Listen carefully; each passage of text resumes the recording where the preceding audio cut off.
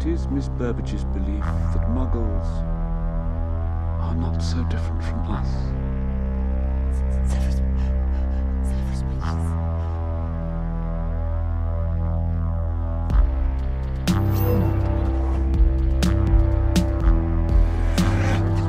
Look at me!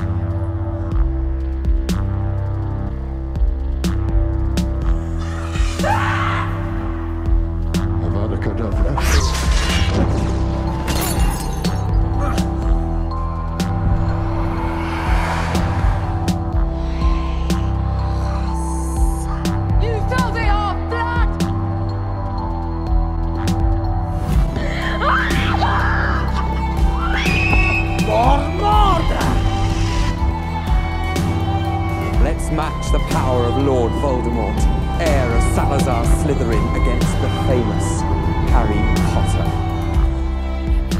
Perhaps you could give us the last unforgivable unforgettable Christmas, Major.